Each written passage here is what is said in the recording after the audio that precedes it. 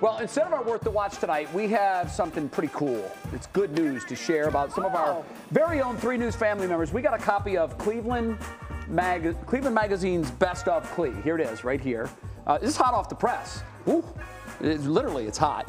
Uh, and there's all kinds of bookmarks in here. That's because every year the readers pick winners in a variety of category, and it's just loaded with Channel 3 folks. Uh, Russ Mitchell, second place for best male anchor. Don't Go know what they were thinking. I- there's no one better. There's Go no one better in this town than, than Russ. Um, Betsy Kling, third place. Again, don't know what they were thinking. First place. Um, also, Betsy got best meteorologist. Uh, surprise. Followed by Hollie Strano. Surprise. Uh, where's my Matt Wintz? Hello, Ah, yeah. voters. Team. And, and again, you talk about a surprise. Jim Donovan, the dean of sports in Cleveland, best sports anchor That's not a surprise. stunner. I mean, you know what? I got to tell you this. Uh, I've seen many of them because I'm an aficionado of local news.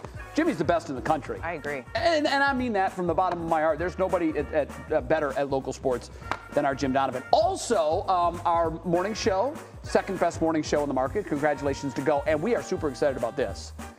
How about Cleveland Magazine doing a full page feature on our girl, Kiara Cotton, in their Rising Star section? We've known this for three years. Not only does she bring you entertainment headlines, she also hosts We the People with Leon Bibb. She reports on our weekend morning show. She's the Cavs in game host. She makes and sells all the popcorn at every Guardians game. All, no, I made that. I, I made that last part, but she's busy.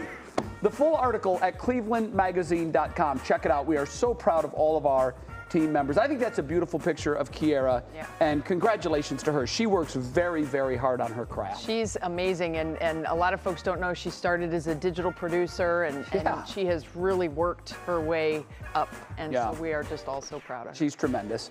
Uh, so, and thanks for everybody for voting for our fine folks at Channel 3.